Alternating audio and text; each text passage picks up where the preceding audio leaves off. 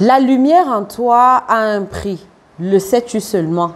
Vous voulez connaître, vous voulez savoir, alors restez scotché et suivez la vidéo jusqu'au bout.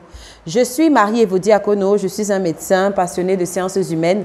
Je suis life coach certifié professionnel, experte en perversion narcissique et J'accompagne les hommes et les femmes à se sortir de l'emprise des relations toxiques, mais surtout à trouver leur voie, à trouver leur talent et à exceller sur le chemin de leur brillante destinée. Donc là, je vais partager une petite réflexion avec vous sur la valeur de la lumière qui est à l'intérieur de toi. C'est la série de vidéos que j'ai entamée aujourd'hui qui, qui commence par les origines des pervers narcissiques, là où je parle des néphilim en fait. Dans cette série de vidéos, là, il y a un terme qui revient beaucoup, les fils de lumière, filles de lumière. Euh, fils de lumière, fille de lumière, qu'est-ce que ça veut dire? De quoi est-ce qu'il est question à proprement parler? Est-ce que c'est un terme creux? Est-ce que ça sous-entend des choses?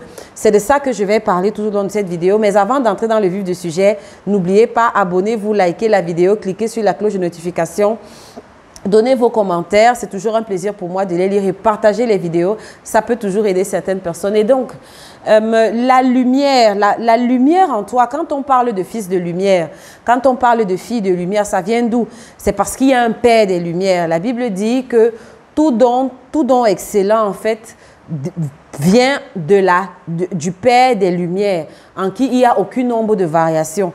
Dieu est le Père de lumière. Si on vous donne des lunettes pour voir dans le monde invisible, vous allez voir que Dieu est un être lumineux, c'est un être de lumière. Et par conséquent, tous ceux qui sont ses enfants, tous ceux qui se relèvent d'être de sa nature, sont des êtres de lumière. Il y a une lumière qui dégage de toi. Dans le monde invisible, dans le monde spirituel, en fait, il y, a, quelque chose de lumineux qui sort de toi. On parlera d'étoiles. Vous voyez, euh, Jésus, par exemple, euh, quand il était encore euh, en, gestation dans le ventre de sa mère, il y avait déjà des rois mages qui avaient vu une étoile briller dans le ciel et qui ont commencé à suivre cette étoile-là. Qui dit étoile dit lumière. Il y a une lumière qui, qui, est en chacun d'entre nous. Et maintenant, c'est quoi cette lumière? C'est très important de comprendre ça, de comprendre les enjeux, de comprendre pourquoi la matrice a un problème avec ta lumière, de comprendre. Dans la vidéo précédente, euh, je vous ai expliqué euh, les raisons pour lesquelles... Euh, quand je vous parlais du karma du pervers narcissique, de ne pas mettre les pieds, je vous ai expliqué pourquoi votre lumière est un danger pour la matrice. Ça, c'est le danger pour la matrice. Mais maintenant, je vais vous montrer le côté, euh, je peux dire quoi Le côté face. Peut-être là, c'était le côté pile de votre lumière. Mais là, je vais vous montrer le côté face de la lumière qu'il y a en chaque HP. Si vous êtes un HP, un haut potentiel, si vous êtes un zèbre, un empathe, un hypersensible, c'est que vous êtes un fils de lumière.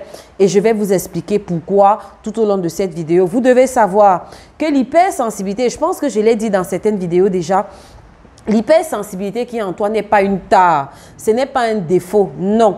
L'hypersensibilité qui est en toi a un rôle. Elle n'est pas là pour rien. Dieu ne t'a pas donné cette hypersensibilité-là juste pour décorer ta vie, pour décorer ta personne ou bien pour qu'elle t'emmède comme tu penses qu'elle t'emmède. Parce qu'il faut se dire la vérité au départ, quand on ne connaît pas qui on est, quand on ne connaît pas son identité, avant qu'on ne soit éveillé, on prend plus son hypersensibilité comme un handicap en tant qu'empathe, on prend plus ce côté hypersensible là comme une tare, comme un boulet qu'on traîne à la cheville parce que justement, grâce à cette hypersensibilité, on s'est euh, laissé, en fait, on a, on a attiré pas mal de personnes toxiques qui ont profité de nous, qui ont abusé de nous, et voire même pour certaines qui nous ont maltraités comme les pervers narcissiques. Et du coup, notre réflexe premier est d'accuser cette par cette caractéristique en se disant que si on a subi ça, si on a souffert autant, c'est justement parce que nous sommes hypersensibles. Et donc, cette hypersensibilité-là est un problème. Alors, il faut taire cette partie de nous. Il faut la taire, il faut la dompter, il faut la brider, il faut empêcher, il faut même la tuer, cette hypersensibilité, parce qu'elle ne nous a emporté que des problèmes. Et au travers de cette vidéo, justement, je veux en fait te révéler ton identité, fils de lumière et fille de lumière. Ton hypersensibilité est bel et bien là pour un but. Au contraire, c'est un atout.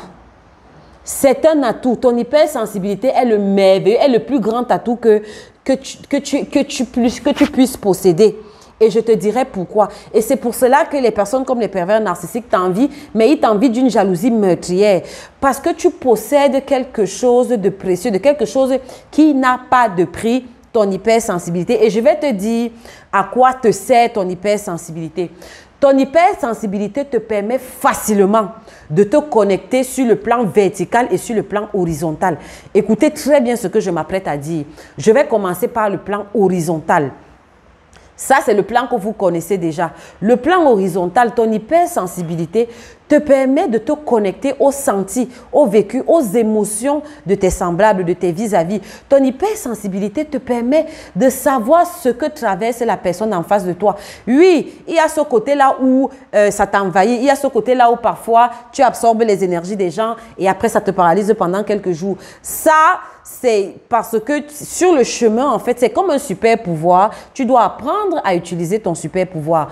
Je pourrais faire une autre vidéo euh, où je vais expliquer comment utiliser ce super pouvoir. Parce qu'il y a une façon d'utiliser ce super pouvoir. Quand tu ne sais pas utiliser ce super pouvoir, effectivement, ce super pouvoir peut te bouffer, ça peut te brûler. Ça, c'est clair, mais il n'est pas question de ça aujourd'hui. Ce que je veux vous faire comprendre, c'est que sur le plan horizontal, l'hypersensibilité va te permettre de connecter à autrui, va te permettre de comprendre très vite, sans que l'autre, sans que ton vis-à-vis n'ait à parler, de comprendre ce par quoi il passe, de comprendre son état d'esprit intérieur. Ton hypersensibilité te permet de discerner les gens. Oui, tu me diras que mais si ça me permet de discerner les gens, pourquoi je n'ai pas pu discerner ce pervers narcissique ou ce petit singe ou cette personne toxique? À cela, je te répondrai que c'est parce que tu n'étais pas encore éveillé. C'est parce que tu ne connaissais pas encore utiliser ton super pouvoir. Parce que quand tu sais utiliser ton super pouvoir, quand tu as fait tes classes, quand tu as grandi dans ta zébritude, dans ton hypersensibilité et quand tu es éveillé, ton hypersensibilité est une âme redoutable. C'est ça qui va devenir dans ton intuition. Vous avez déjà entendu parler de l'intuition. Ton hypersensibilité est une âme redoutable parce que c'est un GPS intérieur. Tu as un GPS intérieur qui est trois, qui est dix fois plus puissant que le commun des mortels. Un GPS intérieur qui te permet de sentir à des kilomètres à la ronde des personnes ou des choses qui ne, qui ne sont même pas encore manifestes qui peuvent même arriver, même c'est-à-dire qu'ils vont arriver peut-être dans six mois ou dans deux ans, voire même dans dix ans. Mais toi, ce GPS à l'intérieur de toi te permet déjà de les voir. Je ne sais pas si tu comprends ce que je suis en train de te dire. C'est ça ton hypersensibilité. Ça te permet de lire les choses à l'avance. Ça te permet même d'anticiper sur les situations. Au point où tu peux sentir quelque chose arriver, tu peux sentir une situation arriver une, deux semaines avant, sans trop savoir pourquoi, sans savoir comment te l'expliquer, mais parce que tu l'as senti.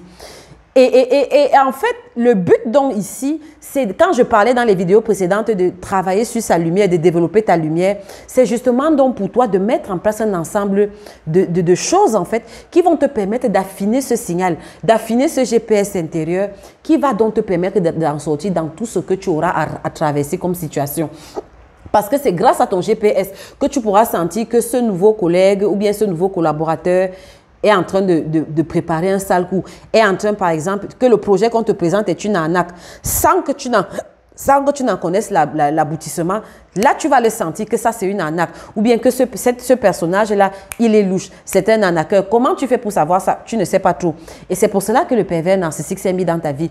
Le pervers narcissique vient vers toi parce que toi, tu as ce don-là. Tu as ce don-là de sentir les gens. Tu as ce don-là de sentir les choses. Tu as ce GPS intérieur qui te permet justement de t'orienter, de savoir que ça, ça, là, ça sent mauvais, que c'est plutôt cette direction-là. Avec ce GPS intérieur, avec ton hypersensibilité, tu peux te retrouver dans un carrefour à deux voies et de façon spontanée, de façon intuitive et instinctive, une voix va te dire à l'intérieur que prends la voie de droite sans trop savoir pourquoi et comment. Et quand tu vas prendre la voie de droite, c'est au final que tu vas te rendre compte que c'était justement la voie que tu devais prendre.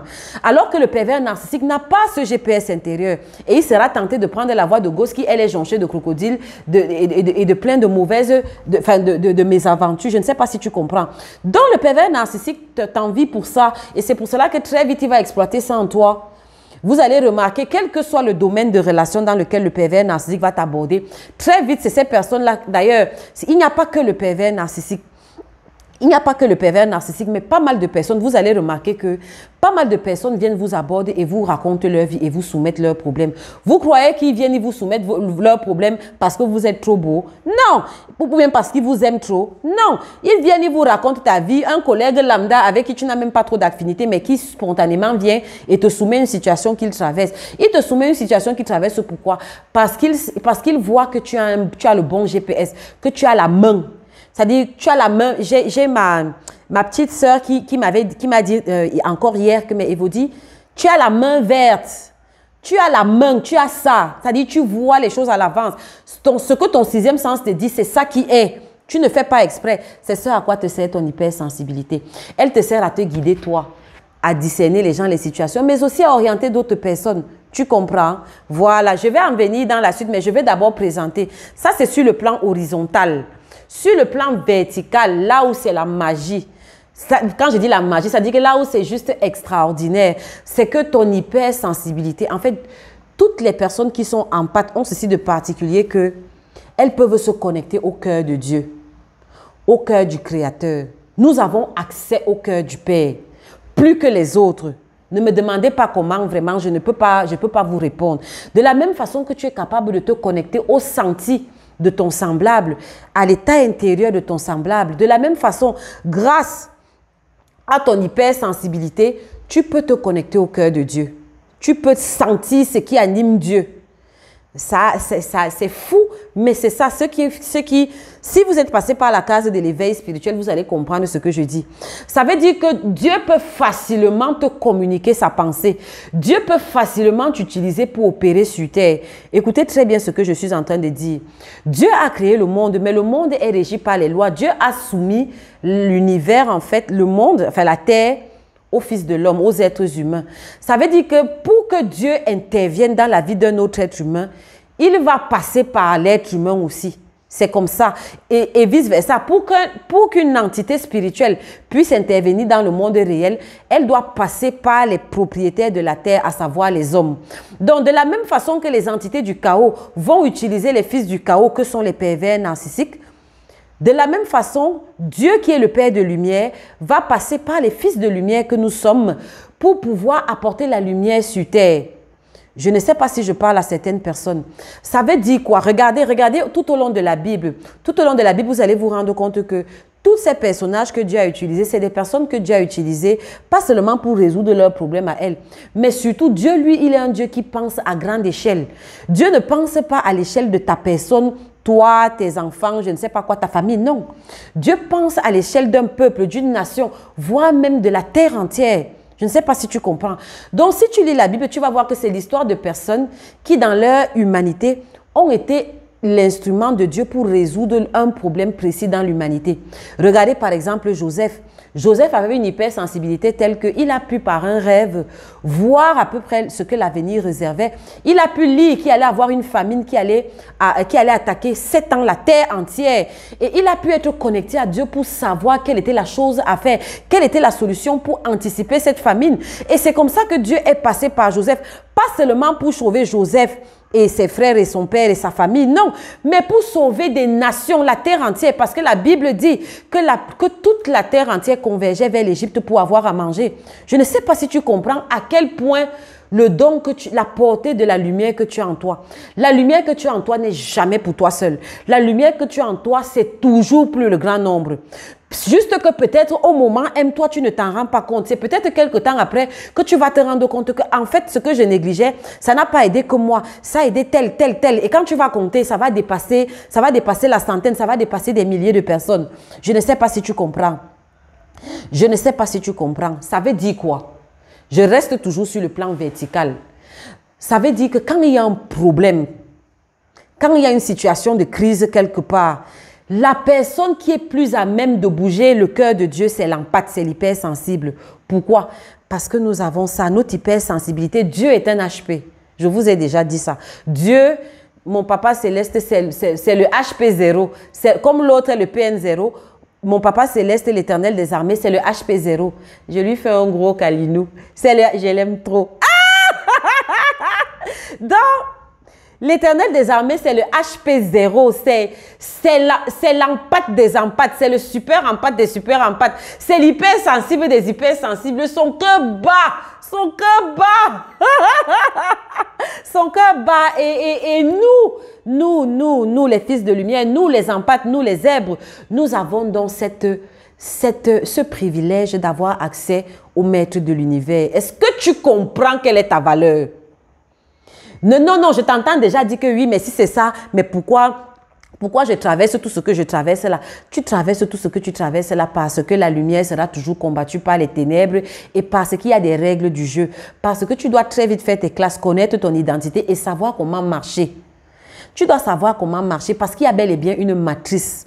Tu ne vis pas encore au paradis, tu vis dans la matrice. Donc il faut savoir comment marcher dans la matrice, sinon tu vas ramasser des balles perdues. Je ne sais pas si tu comprends. Donc ton hypersensibilité est plus qu'un atout. J'ai dit, sur le plan horizontal, c'est un GPS intérieur hors pair.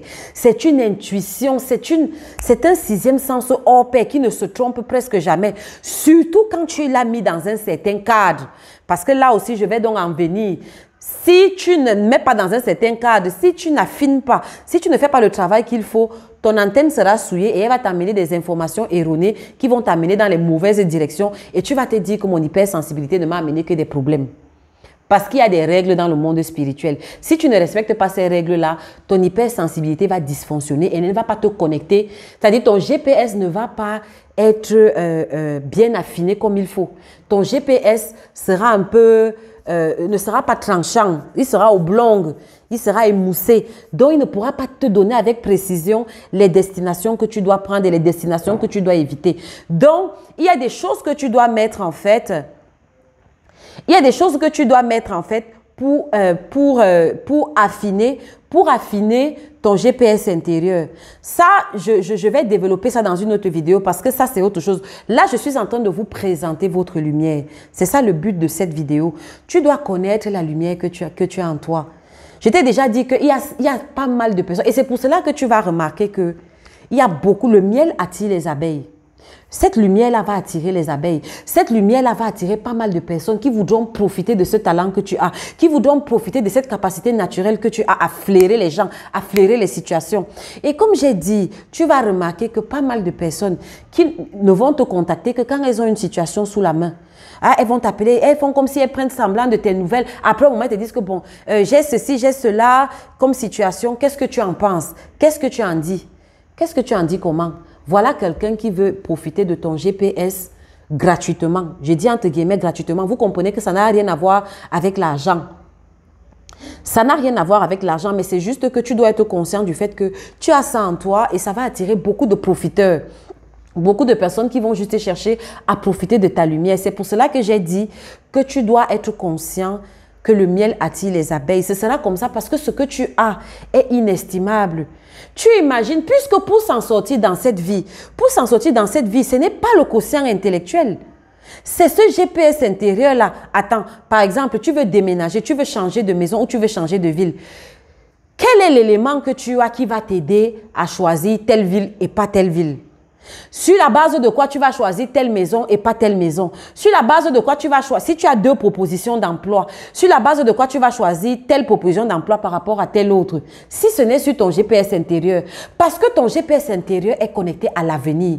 L'hypersensible, l'empathie a un œil qui voit dans l'avenir. Certaines personnes parleront de prophètes. Ce sont les esprits de prophètes. Tu as un esprit de prophète en toi. Tu vois dans l'avenir sans t'en rendre compte. Tu le vois, tu vois dans l'avenir. Donc du coup, toi, si tu fais ce qu'il faut pour affiner ton signal, pour clarifier ton hypersensibilité, alors toi, tu pourras faire de bons choix. Tu pourras savoir que devant telle proposition, je vais plutôt foncer vers telle autre sans trop savoir comment. Tu le feras de façon instinctive et il va s'avérer que la proposition euh, euh, professionnelle que tu auras acceptée sera la meilleure sera la meilleure pour toi. Alors qu'une autre personne qui n'a pas ce GPS intérieur va faire des choix qui à la longue, quelques mois plus tard, vont s'avérer être de mauvais choix. Il va se retrouver dans une boîte où il est en pétard avec tout le monde, il va choisir une maison où le voisinage, c'est un voisinage très bruyant qui ne lui permet pas d'être épanoui, ainsi de suite, ainsi de suite. Il y a des détails dans la vie qu'on ne maîtrise pas forcément, mais que notre GPS intérieur connaît. C'est pour cela que je dis que ton hypersensibilité est un atout. Arrête de voir ça comme un handicap c'est la plus belle des choses qui te soit arrivée. Je peux vous raconter des centaines et des centaines d'histoires que j'ai vécues. Mon, mon, ex-pervers narcissique en a beaucoup profité à l'époque quand j'étais encore complètement sous emprise. Parce que justement, quand il y avait des choses à choisir, il s'avérait toujours que ce que je choisissais, c'était un truc bien. Comme je vous ai dit, la main verte. L'hypersensible a la main verte. Quand tu as un empathie, ta main est verte. C'est-à-dire que tout ce que tu touches, tout ce que tu choisis, en principe, est censé prospérer de façon instinctive. Du moins, sur 10 choses, 7 choses seront bien. Les trois autres choses qui sont mauvaises, c'est parce que ton, signal, tu n'as pas encore appris à, à le clarifier, comme j'ai dit tantôt. Est-ce que vous comprenez ce que je voulais dire? Donc, la lumière qui est en toi a un prix. Arrête. Arrête de grâce. Arrête de grâce de voir ça comme, comme une tare. Le pervers narcissique t'envie ça. Et l'autre chose que je vais vous donner en bonus, c'est que, comme j'ai dit que sur le plan horizontal, la lumière en toi te permet de voir la nature véritable des gens. C'est cette lumière-là qui te permet de voir qui est le pervers narcissique. Ta lumière, la lumière en toi va, même avant ton éveil, les moments qui vont précéder ton éveil, il y aura un ensemble de prémonitions que tu vas sentir en toi qui vont commencer à, se faire sur ce pervers narcissique particulièrement sur le pervers narcissique principal. Ces prémonitions-là vont se manifester sous forme de d'états bizarres que tu vas sentir à l'intérieur de toi ou sous forme de rêves, ça dépend des personnes, ou sous forme de rencontre où tu discutes avec quelqu'un, tu rencontres quelqu'un et, et, cette personne-là, vous avez une conversation, tu sens que cette conversation-là est intemporelle, ce n'est pas quelque chose d'ici, c'est comme si c'est au-delà du temps et qu'il y a un message qu'on est en train de te passer. Voilà le genre d'expérience que tu vas commencer à vivre quand tu seras proche de ton éveil. Je vais faire une autre vidéo à part qui va parler de l'éveil. Il ne s'agit pas de ça. Moi, je vous présente la lumière. Toujours est-il que là où le pervers narcissique, justement, euh, euh, euh, est irrité par rapport à ta lumière, c'est parce que ta lumière l'expose sans t'en rendre compte. C'est-à-dire que moi, par exemple, dans mon vécu, j'avais toujours des coups d'avance sur lui. C'est maintenant que je m'en rends compte. J'avais toujours des coups d'avance sur lui. Je voyais toujours une, une, deux semaines, voire trois mois, cinq mois, six mois à l'avance. Des choses qui était censé lui arriver. Je voyais, moi, pour moi, la mienne, ça se manifeste plus dans les rêves. C'est-à-dire, je faisais des rêves où je voyais des situations, je lui racontais, me disais que ça c'est n'importe quoi. Mais quelques temps après, ces rêves-là se manifestaient dans la réalité. Comment tu pouvais expliquer ça? Des rêves en bien comme en mal, où je le voyais, où je voyais des choses qui lui arrivaient. Et ces choses-là s'avéraient être exactes. Comment vous pouvez expliquer ça? Et dans certains rêves même, je voyais des choses qui s'apprêtaient à me faire. Et à l'époque, j'étais sous emprise, je ne comprenais pas. Et c'est maintenant que je comprends que non. Ton GPS intérieur, ton hypersensibilité va même te révéler quand quelqu'un veut te faire du mal. Quand quelqu'un trame des choses dans ton dos, ton hypersensibilité va te le révéler. Tu vas voir ça avant même que la personne ne matérialise ça. Tu vas voir ça. C'est ce à quoi sert l'hypersensibilité. D'accord, je vais m'arrêter là. Donc, euh, voilà ce que je voulais partager. Il reste une dernière vidéo pour cette série de cette journée-ci. Parce que, bon, j'ai reçu un plan, je suis juste en train d'obéir. Et euh, voilà, voilà ce que je voulais partager avec vous. Prends soin de la lumière en toi, elle a du prix. Elle a du prix, elle a du prix. Et la dernière vidéo que je vais euh, donner pour aujourd'hui va donc vous donner les risques vous allez le voir là tout à l'heure, je vais la mettre en ligne. Mais sinon, l'Éternel vous bénisse. Abonnez-vous si ce n'est pas déjà le cas, partagez la vidéo, etc. Je vous aime. Ciao.